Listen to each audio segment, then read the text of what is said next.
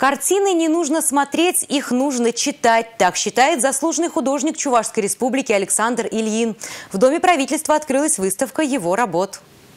Он впервые почувствовал силу искусства на уроке труда. Слепил бюст Ленина из пластилина. Да такой правдоподобный, что тот долгое время стоял на директорском столе. С этого и начался творческий путь Александра Ильина. Картины я начал писать э, поздновато, потому что диплом делал по скульптуре и считал, что не живописец. А в 30 лет примерно, 30-30 с половиной, меня просто физически потянул на природу, я взял этюдник, краски пошел. И уже остановиться не смог. У стены лучшая картина Ильина за последние пять лет. Это мнение самого художника. Чувство сострадания, восприятие чужих проблем как своих. Работы у стены вызывают у зрителей неподдельные эмоции. Да и вообще автор выставки очень любит некие картины-загадки, где нужно всматриваться в образы, размышлять. Тут такой элемент есть. Это амарилис, цветок это не просто цветок.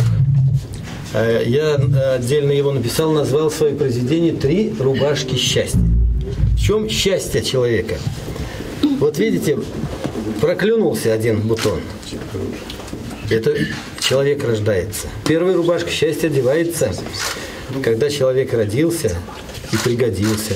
Вторая рубашка счастья одевается, когда человек влюбился, от взаимной любви родились дети. И э, сделав в этом мире все, что положено, с чистой совестью на душе, можно одевать тогу, третью рубашку счастья, посмотрев в глаза э, детям, внукам, правнукам, друзьям, всем знакомым, и счастливым уйти в лучший мир.